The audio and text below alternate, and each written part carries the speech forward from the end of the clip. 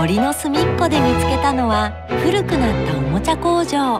褒め上手な熊工場長に誘われて楽しいおもちゃ作りスタート。初めてのお仕事できるかな？ってあらお上手。みんなで作ったおもちゃきっと思いも届くよね。順調順調。に見えたけど。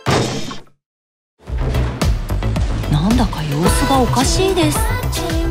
そうこの工場には秘密があるんです。今はまだ言えませんけど。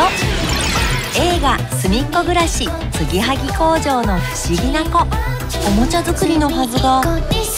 おもちゃになってる？この声は？